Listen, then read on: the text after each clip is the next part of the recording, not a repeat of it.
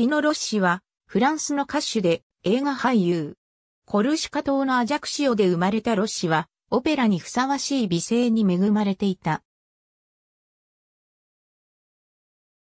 彼は、フランスのキャバレースタイルのテナー歌手になった。そして後には、様々な映画に出演した。そのキャリアの間に2000曲以上を録音したと伝えられていて、また25本以上の映画に出演した。その中で最も注目すべきは、サシャ・ギトリが監督し1954年に上映された SI ベルサイユ M エーテコンテである。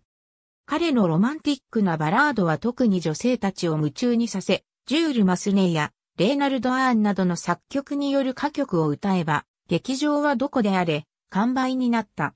彼の大変有名なヒット曲の中でも、プティパパノエルは、世界中で3000万枚以上を売り上げた。